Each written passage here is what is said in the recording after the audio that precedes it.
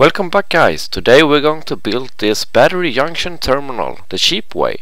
But before we start I would like to ask you to actually subscribe to my channel. Don't forget that because otherwise you might miss a really good content. When it comes to the bus bar I will be using this sort of pipe here that is rather thick. I think it is 28 millimeters here and one or one and a half millimeters thick.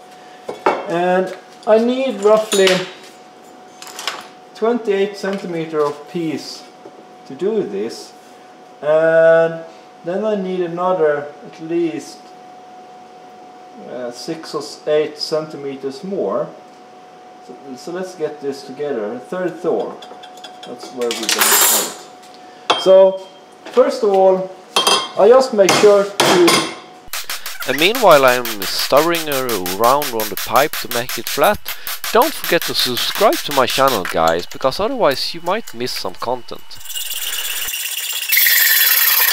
And when it's flattened out I end up with something like this. So it's time to measure this up. And I need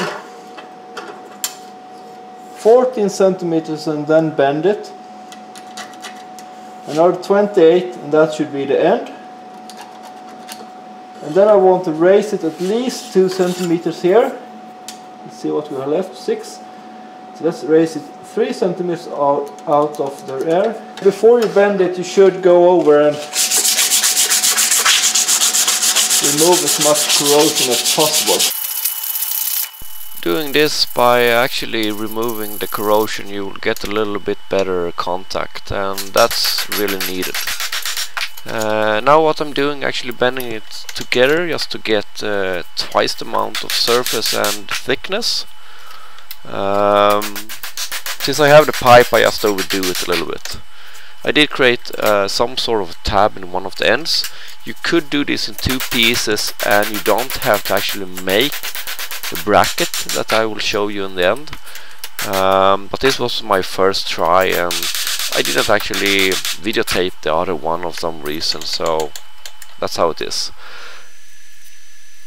Uh, time for drilling the holes. I'm just marking it out a little bit quick. Uh, nothing fancy here actually. Um, the terminal itself has been working really really great so. Uh, 9 millimeter drill holes just to be able to get uh, screws in I'm using M8 so the bus bar itself should be able to cope with a couple of hundred amps if needed so that should not be a big issue at all.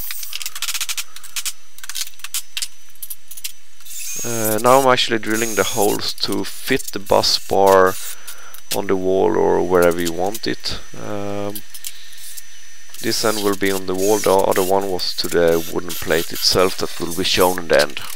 And here we have the final result. And this should easily fit six of these and be able to carry the current easily as well due to the massive size of this uh, thing here.